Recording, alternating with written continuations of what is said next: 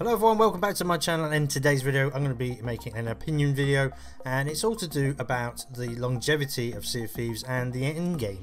So let's check it out.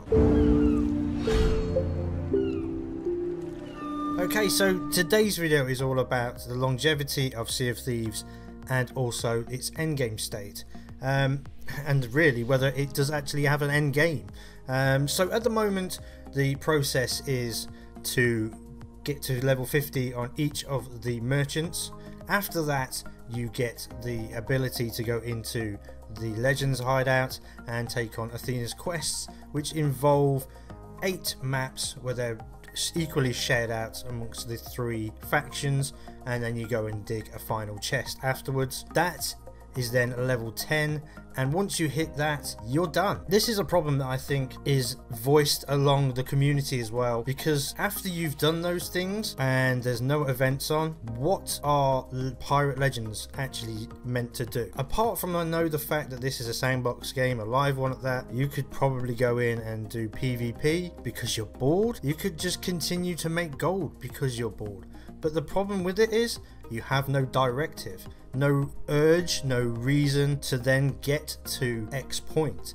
Uh, for example, they had the sale on, I had over 2 million in gold, I pretty much bought a lot of the stuff at the time, and now I'm at the point where I pretty much have most of the cosmetics, definitely the ones I wanted, and I'm now in the point of buying the ones that I didn't really like, but just buying them for the sake of it. So I've got no reason to earn gold. Um, I then have got to the point where I've got the sales for the Legends uh, Legendaries library. Uh, that's going to cost about a million and a half. So yes, I've got something to go towards there, but that's just for three items. So it's kind of ridiculous, really, in some ways.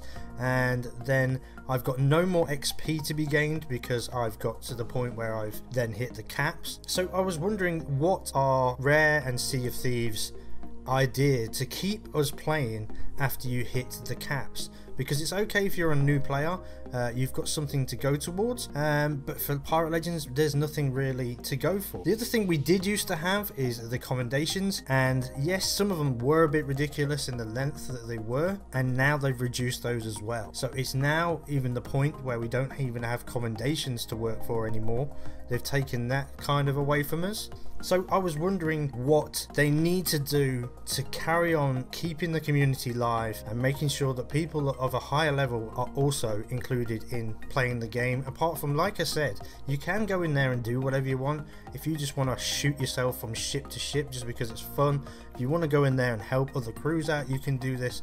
The game does give you that openness, but I'm talking about goals and end game I don't really think there's much there's doing at the moment. I'll let, leave it up to there. Let me know what you feel about the longevity and the endgame state of Sea of Thieves at this moment in time. Don't get me wrong, they will bring out new things and new features that might bring older players back, but in a whole, I think they're in a little bit of a tight spot at the moment. I have a video coming out. Uh, it's part of my future ideas series, and I have an idea for endgame, but I'm not going to talk about that now. Um, I will talk about that when I post a video in the future. So let me know what you think about the end game and longevity longevity of Sea of Thieves in the comments section. I'd be interested to know your views. That's it for today's video. Hopefully, if it's been helpful for you or you're enjoying this sort of content, then do consider subscribing, liking, sharing, and commenting. Have a great rest of your voyages, guys, and take care.